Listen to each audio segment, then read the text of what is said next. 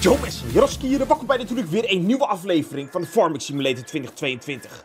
We gaan weer verder op onze boerderij, want er staat een hele drukke maand op ons te wachten. En we gaan vandaag beginnen met het oogst van de koolzaad op veld 47, 48 en 49. Oftewel het stuk helemaal naar de bomenlijn. En ik ben heel erg benieuwd wat de opbrengst gaat worden. Dus... We stappen in de combine, want die staat al klaar voor ons. We starten de motor. Lampjes mogen allemaal aan, want het is redelijk donker op het moment. En we gaan aan het werk. Maar, heb je hier nu zin in? Ram er natuurlijk keihard op, lijkt me straks super gaaf vinden. Want wat wij met deze koolzaad gaan doen, is we gaan het meteen, en let goed op, meteen veranderen in koolzaadolie. Want koolzaadolie levert namelijk het meeste geld op in november. En in welke maand zitten we? November. Dus ik weet niet precies hoe snel de molen kan werken. Maar als we dus deze koolzaad meteen kunnen veranderen in koolzaadolie, kunnen we het meteen verkopen en kunnen we er meteen heel veel geld aan gaan verdienen. Maar het is eh, best wel een stukje dat we moeten gaan oogsten. Dus ik moet even kijken hoe we dit het beste kunnen aanpakken. Want het zijn namelijk twee velden. Alleen kan ik in één keer doorrijden.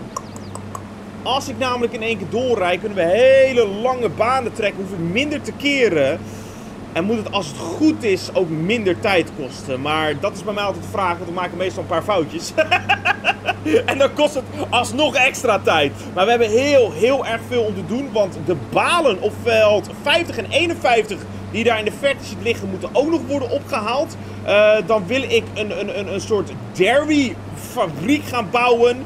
We moeten ook nog de dieren voeren. We moeten misschien nog extra dierenverblijven bouwen. We moeten nog bemesten. We hebben echt heel, maar ook echt heel erg veel om te doen. Maar uh, we kunnen maar één taak tegelijkertijd uitvoeren. Dus sowieso heel erg bedankt voor allemaal voor het intunen. Heel erg bedankt voor allemaal voor het sport. En we hebben nu al 3300 liter, 3400 liter aan koolzaad.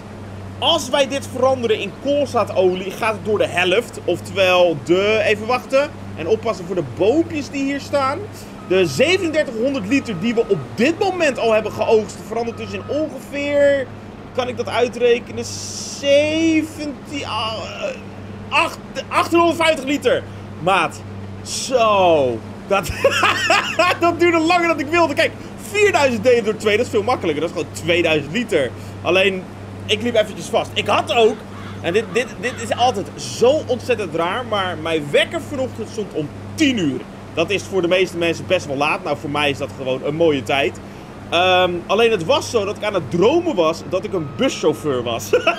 ik weet niet wat het voor droom was, maar ik was gewoon in de bus aan het rijden. Alleen in mijn droom was er een nieuwe werkdag begonnen. Oftewel, ik was maar aan het klaarmaken, ik had ontbeten, ik had mijn tanden gepoetst. En op het moment dat ik de voordeur op slot deed in mijn droom, ging mijn wekker en was het 10 uur. Precies maar echt precies op dat moment. En dan word je wakker en dan kijk je en dan denk je... Oh, doe net de voordeur op slot in mijn slaap. En nu ben ik weer wakker. het is altijd zo raar en zo, zo, zo apart gewoon. En ik, ik had laatst ook dus om de wekker op half tien. En toen werd ik om één voor half tien werd ik wakker. Dus ik kijk op mijn mobiel. Ik dacht, oh, mijn wekker is nog niet afgegaan. Ik leg mijn mobiel weer neer. Pring, pring. Ging mijn mobiel meteen af gewoon. Dus ja, het is altijd zo apart hoe je, hoe je op sommige momenten wakker wordt. Of, of hoe je op sommige dagen droomt. Maar op zich, het kan natuurlijk ook heel leuk zijn. Want, want ik was buschauffeur in mijn droom. En uh, ik heb heel netjes gereden. Ik heb niks kapot gereden. Ik heb alles goed gedaan. En misschien kunnen we in de toekomst ook een keer bussimulator spelen. En je weet het maar niet. Hey, soms uh, brengen dromen je natuurlijk ook inspiratie op.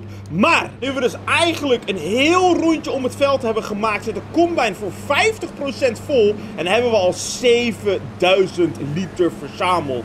Dus als ik het een heel klein beetje snel kan uitrekenen. 7. Denk ik dat dit veld 17.000 liter gaat opleveren ongeveer. Want we hebben aan de linkerkant natuurlijk nog een heel klein stukje die we ook mee moeten nemen. En ik hoop dat de molen heel snel kan gaan werken. Want het is nu ongeveer 11 uur s ochtends.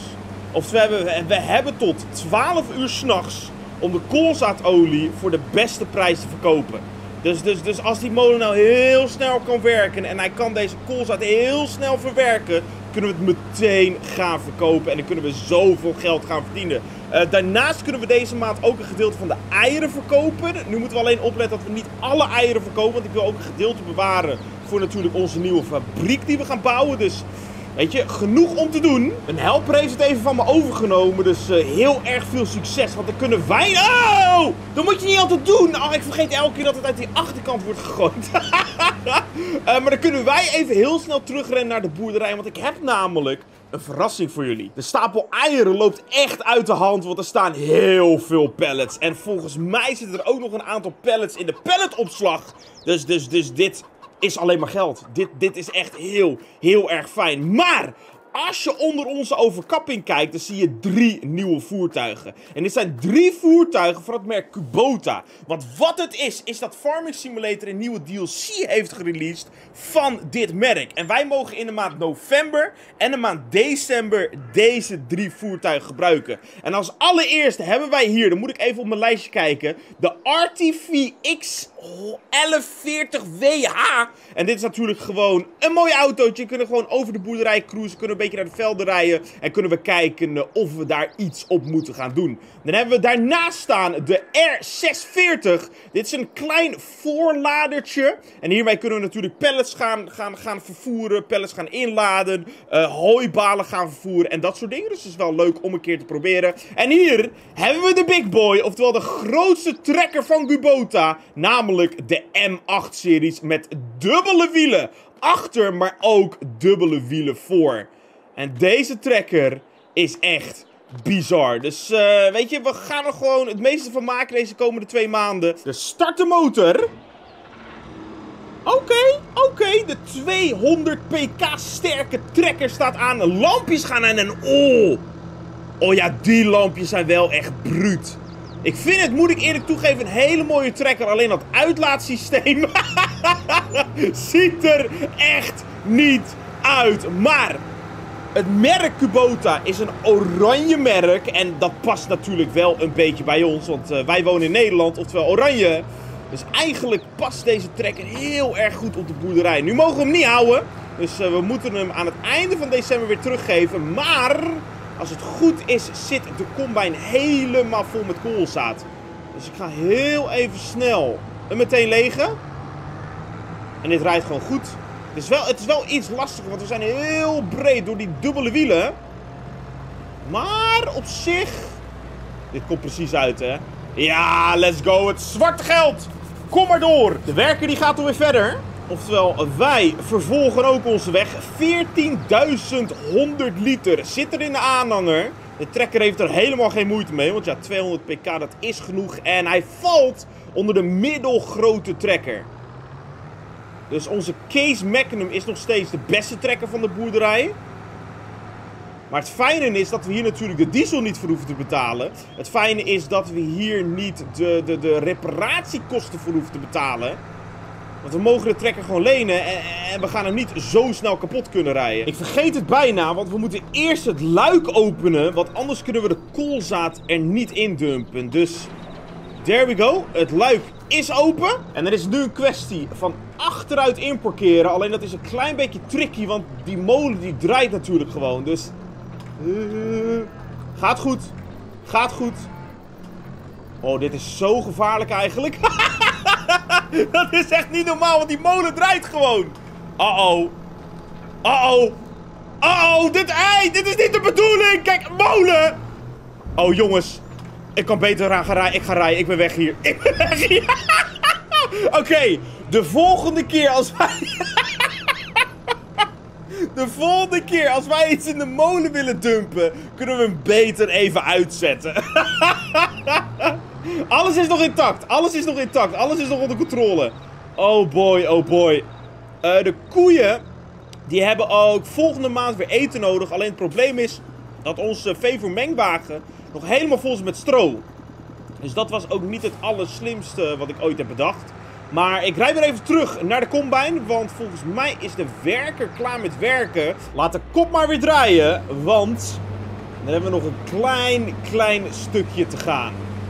Het hoeft niet heel erg precies. Maar ja, ik, ik, ik mis nu al een plantje. en het is toch weer 1 liter, hè. Het is toch weer 1 liter. En het is ook gewoon 300 reacties in de reacties. Van ja, je mist een stukje. Ik, ik was vorige keer ook een heel klein stukje vergeten. En, en ik heb echt gewoon, ik denk, denk bijna 100 reacties gekregen van Jan, je hebt een stukje gemist. En ja, jongens, het, soms heb ik het door, want nu weet ik het. Dus ik ga hem zo meteen nog even meepakken. Alleen, alleen soms zie ik het zelf ook gewoon niet dat ik iets heb gemist. Maar nu is het wel een klein beetje tricky, want ik wil zoveel mogelijk in één keer meenemen. Maar ik wil ook gewoon zo snel mogelijk doorrijden. Dus helemaal langs de rand. Oppassen voor de kleine, kleine boompjes die we hebben ingeplant. En die groeien echt niet, hè? Ik weet niet hoeveel maanden ze nu aan de grond staan, maar kom op! En over bomen gesproken. Oh nee, hè? over bomen gesproken. Ik heb in mijn tuin twee appelboompjes in mijn grasveld staan. Die, die, die heb ik daarin gezet. Ik heb ook een aantal andere boompjes gewoon in, in borders staan. En in, in, in, in, in bomenbakken of plantenbakken of hoe je het ook wil noemen staan. Alleen ik heb twee boompjes in mijn grasveld staan. En normaal gesproken als ik de honden naar buiten doe, dat is een polski en een husky. Normaal gesproken let ik altijd op waar ze mee bezig zijn. Want honden die willen graven. En als ze gaan graven, maken ze ten eerste je gras kapot. Maken ze ten tweede je bloemen kapot. En maken ze ten derde je bomen kapot. dus ik dacht, ik laat ze heel eventjes alleen in de achtertuin. Dus ik ging naar mijn kamer. Ik wilde gaan beginnen om op te gaan nemen. En in één keer hoor ik de honden blaffen. Dus ik dacht, nee, ik ga toch maar even kijken wat ze aan het doen zijn. En wat denk je? Ze waren in hun bek met mijn boom aan het rondrennen. Over het grasveld die ze helemaal uit de grond hadden getrokken. Dus uh, ja, ik, ben ik, was er niet heel blij mee. Ik ben meteen naar beneden gerend gewoon. Ik heb die boom afgepakt. Ik heb hem weer in de grond gestopt. Uh, extra aarde bij gegooid, goed aangestampt. En hij doet het nog redelijk. Er zijn heel veel blaadjes afgevallen. Heel veel blaadjes zijn van groen naar geel gegaan. Omdat natuurlijk dat hele wortelsysteem van die boom was aangetast. Maar ik denk wel dat team gaat redden. Maar ik denk ook dat ik de honden niet meer alleen in de tuin laat. Dit, dit was gewoon echt weer een les.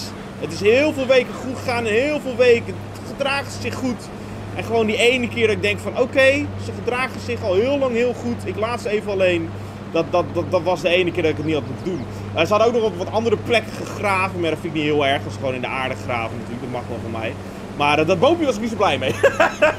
dus ik zal jullie over een maand wel updaten of het boompje nog leeft. Of dat het boompje niet meer leeft. Maar uh, ik, ik, denk wel dat hij hem redt. Ik denk wel dat hij het redt. Er hangen nog twee appels aan. Dus ik, ik ben er nog wel blij mee. Op dat moment niet. Maar ik ben er nog wel blij mee. We hebben ook alweer 6161 liter verzameld. We hebben nog een heel klein stukje te gaan hier. En dan heeft het veld echt nog wel veel koolzaad opgeleverd hoor. We hadden net al 14.000 liter, dus we zitten nu al op ongeveer 20.000 liter. Op hoeveel gaan we uitkomen, dat is nog wel even de vraag. Want ik weet dat heel veel van jullie altijd gokken wat de opbrengst zou zijn. Maar nog een heel klein stukje nog even achteruit. En we moeten niet vergeten om dat uh, plantje op de hoek nog even mee te pakken. Want dat is toch weer een extra liter. Snel nog even dit stukje meenemen. Op die manier. Ja, en dan niet te vergeten. Ja, ja. Dit extra plantje voor een extra. Daar komt hij. 0 liter. Dat, dat plantje heeft niet eens een liter opgeleverd. Ja, dat was echt gewoon nutteloos.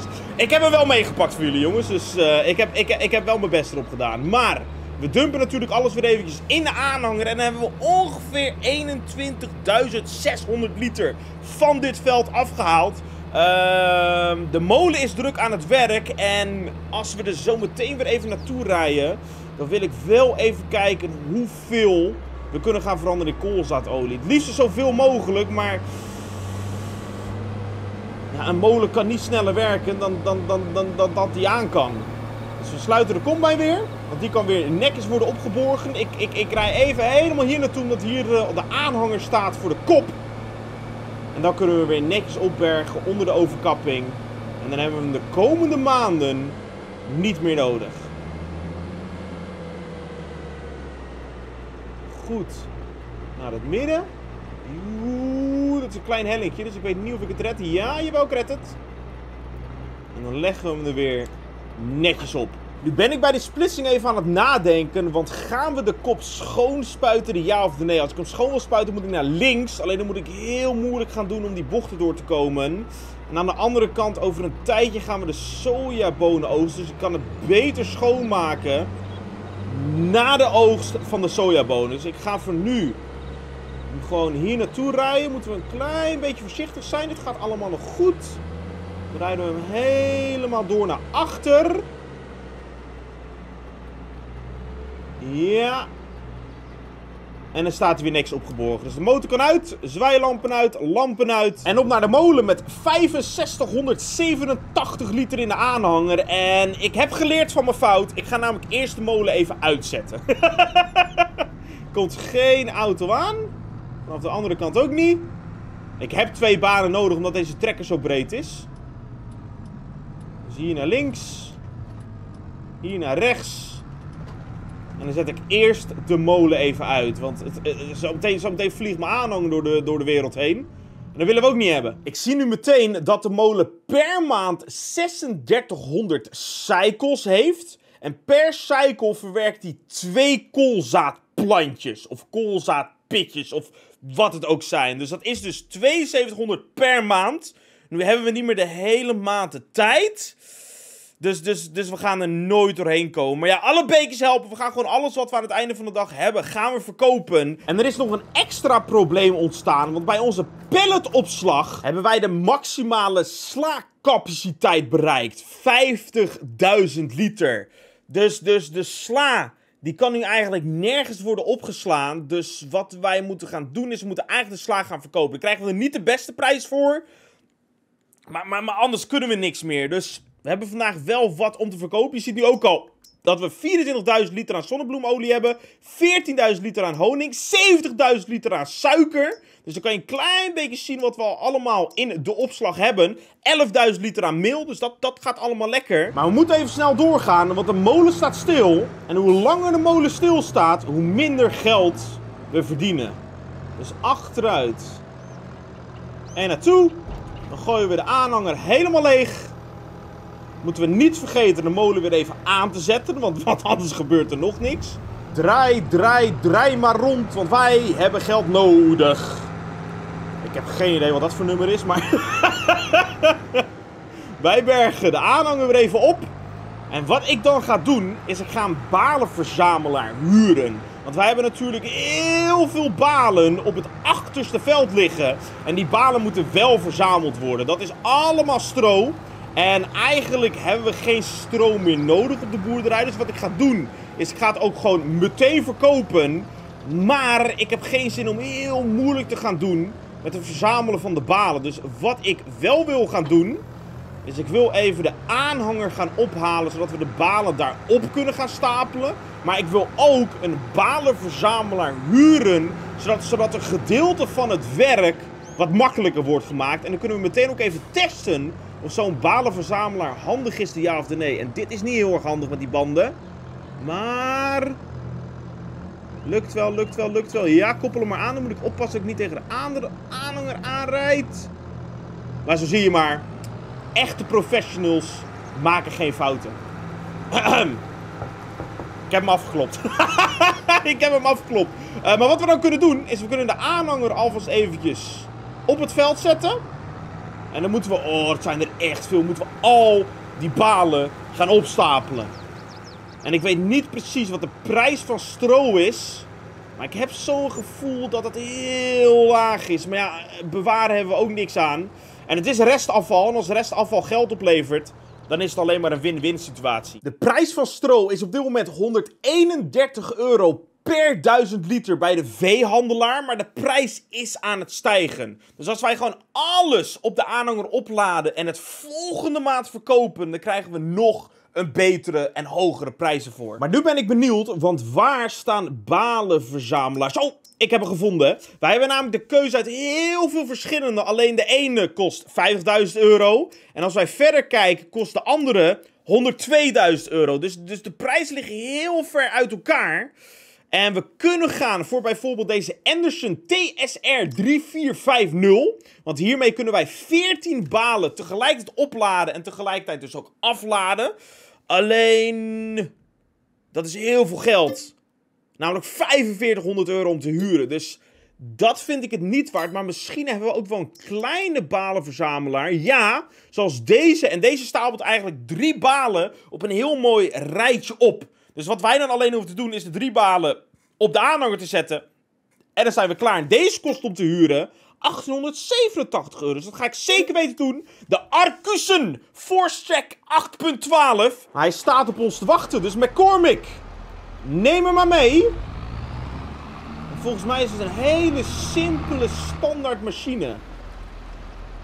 Waarvan je ook al een klein beetje kan zien hoe die in zijn werking gaat. Maar ik ben benieuwd. Als, als dit heel veel tijd scheelt, dan is het zeker, zeker weten het geld wel waard. En in de toekomst kunnen we altijd gaan voor die hele grote balenverzamelaar. Uh, want als je dat natuurlijk gebruikt voor hooi en gebruikt voor kelvoerbalen, dan, dan, dan heeft het nut heel veel nut. Dan heeft, heeft het... Je snapt wat ik bedoel. Ik zet de trailer in de werkpositie. En ja, dat dacht ik al. Dan wordt hij namelijk naar rechts uitgeklapt. En als het goed is, gaat hij dan rechts van de trekker zijn weg vervolgen. En dan... Oh, dan moet je hem heel goed insturen. Oh, nee. Ja, en dan, ja, pakt hij hem op. Oké, oké, oké. Oh, dit moet je wel echt een klein beetje precies gaan insturen. Want als je dat dus niet doet... Oh... Dan gaat het fout. Maar dat is nummer 2. Oeh. Dit is wel makkelijker. Want anders rijden we natuurlijk met onze verrijker dat hele land tien keer over. Maar we hebben nu drie balen. Dat is de maximale capaciteit. En dan weet ik niet precies hoe hij ze loslaat. Want hij kan ze namelijk niet de lucht intillen. Dus wat ik het beste kan doen... Is ik kan ze gewoon het beste naast de trekker neerzetten. Dus dan lossen wij hem. Laten ze gewoon zakken op de grond. Ja. En hoeven we hem dus zometeen alleen op te tillen, op de trailer te zetten en klaar.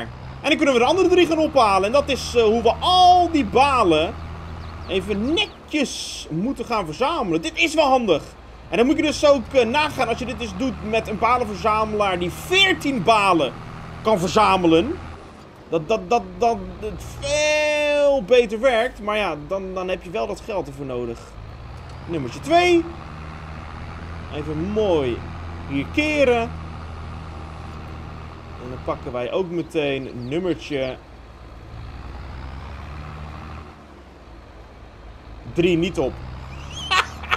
ik dacht, ik ga ervoor, weet je. Zo moeilijk moet het toch niet zijn? Ik heb hem hoor. Ik heb hem. Je ontsnapt niet een tweede keer aan me. uh, dan kan ik deze het beste loslaten. Aan deze kant van de trekker.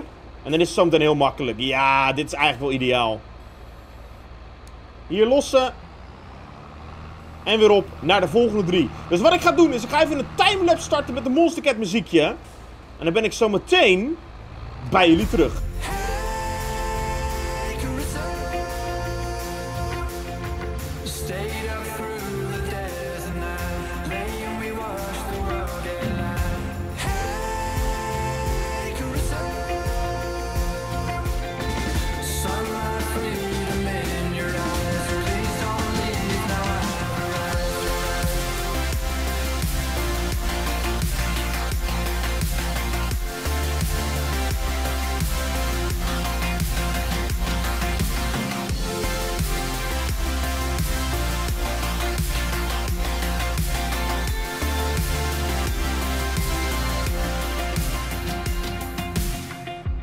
Succesvol alle balen opgehaald en ze staan dus ook allemaal klaar om op de aanhanger gezet te worden. Dus ik heb even de Kubota R640 meegenomen.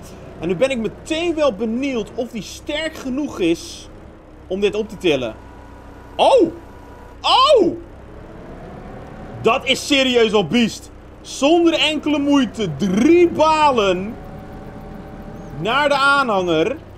En hij, hij is wel een klein beetje aan de woehoe, wiebelige kant. En dat komt omdat je niet alleen stuurt met je wiel, maar stuurt met, met, met, met heel de machine.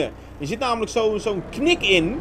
En ik ben zelf nooit zo'n fan van, van die, van die kniktrekkers. Puur gewoon omdat je als je maar een heel klein beetje wil sturen, je meteen heel die machine beweegt. Dus eigenlijk voor het vervoeren van deze balen is het niet het slimste. Maar je ziet nu wel dat die balenverzamelaar echt serieus wel handig was hoor. Want kijk hoe makkelijk dit gaat. Omhoog. Naar voren. Naar beneden. Naar achter. En ze staan. En als we dus zometeen ook de balen aan de andere kant nog neerzetten. Het doel is om vier rijen achter elkaar op te stapelen. Maar ik heb zo'n gevoel dat dat net niet gaat passen. Het zijn ook echt wel veel balen. Maar jij moet helemaal naar voren. Ja, naar achter, naar achter, naar achter. Ja, nice. Oh, moet ik niet die stapel verlasteren. Gaat allemaal goed. En je, ziet, je ziet gewoon dat sturen. Ik moet er echt aan wennen, man. Ik denk ook niet dat als ik zelf een voertuig zou kopen, dat ik een voertuig zou kopen die, die zo door de midden knikt. Want het enige voordeel dat je eigenlijk hebt is dat je heel scherp kan draaien. Alleen, het, voelt zo raar aan met, met, met, met sturen of zo. Ik, ik kan het niet goed uitleggen, maar ik denk dat de meeste mensen wel snappen wat ik bedoel. Maar jij kan hier perfect op deze manier een klein beetje door. Erbij. Derde rij erbij. Nu moet ik heel strak op de tweede zetten. Oh, hij gaat een klein beetje scheef. Maar... Ja, op zich, op zich, op zich. Het ziet er wel echt sexy uit. Nu ze zo netjes zijn opgestapeld. Normaal gesproken is het echt gewoon allemaal kriskras door elkaar. Maar ik heb, nu heb ik het echt wel niks neergezet hoor. Alleen de vraag is, passen deze laatste zes balen er nog achter? Dan zou het namelijk echt perfect zijn. Alleen, ik denk dat het niet gaat passen. oh, wat het past! Dit past! Oh. Mijn god, ik denk dat dit wel een van de meest perfecte aanhangers tot nu toe is. Sommige, sommige hangen een beetje over, sommige staan een beetje scheef. Eerlijk is eerlijk, maar, maar voor mij doen... is dit echt serieus netjes. Oh, hier ben ik echt serieus ook blij mee. Deze kan helemaal aan de andere kant gereden worden. En dan gaan we die aanhanger gewoon even in de garage zetten. En zodra we in de maand december aankomen, kunnen we deze hele aanhanger in één keer verkopen. Want dan krijgen we de beste prijs ervoor. Het zal alsnog niet heel veel zijn hoor. Want stro ja, levert gewoon niet heel veel op. Maar geld is geld. Eerlijk is eerlijk. Spanbandjes eromheen. Dan zit de hele lading goed vast. En kijk. Oh la la, ja, dit ziet er wel gaaf uit hoor. Het kan nog veel netter, ik weet het. Maar voor mij doen, geef ik mezelf een applausje. Dat is wel een beetje eigendunk als je zelf een applausje geeft, maar ik heb het toch wel gedaan. Met de M8 terug naar de garage, is een klein stukje. En, en, en dan kan je nu zien waarom we heel veel werk te doen hebben. Want al deze velden moeten opnieuw of geploegd of gecultiveerd worden. Moeten opnieuw bemest worden. Moeten opnieuw ingezaaid worden. Moeten opnieuw onkruid vrijgemaakt worden. Dus, dus, dus we hebben nu echt heel veel werk aan deze velden. Maar, maar, maar buiten de velden om hebben we ook nog heel veel werk. Dus even rustig door het beekje.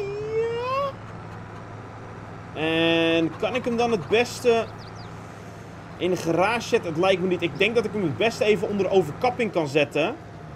Want dan hebben we wat meer ruimte. Dan hoeven we niet heel moeilijk te doen. En ook omdat hij nu zo hoog is, past hij hier het beste. Oppassen voor de combine. Het, oeh, het beste in. Zo, die staat weer op zijn plek. Uh, wat ik dan voor vandaag nog wil gaan doen, is ik wil wat geld gaan lenen om onze nieuwe fabriek te gaan bouwen. Een bedrag van 50.000 euro aan lening is bijgeschreven aan de bankrekening. Want deze Meelmond Dairy wil ik naast onze suikermolen bouwen. Want wij hebben namelijk voor deze dairy suiker nodig. Oftewel, dat kunnen we dus meteen transporteren. Maar ook melk nodig. En dan kunnen we kaas, chocolade en boter ervan gaan maken. Die kaas en chocolade kunnen we rechtstreeks gaan verkopen. Maar die boter kunnen we gebruiken om bijvoorbeeld taarten van te gaan maken. Om bijvoorbeeld donuts van te gaan maken. Dus vandaar dat deze echt heel erg handig is om neer te zetten. En eigenlijk, moet ik hem wel recht zetten, past die hier Perfect. Dan gaat hij wel over een gedeelte van onze sojabonen heen. Maar dat is allemaal niet erg. Dus 62.609 euro is afgeschreven. En dan moet ik een klein beetje terrein wat mooi gaan maken. Eh, wat asfalt neerleggen. Wat grind gaan neerleggen. Even het land mooi gaan afwerken. Maar hij staat wel goed.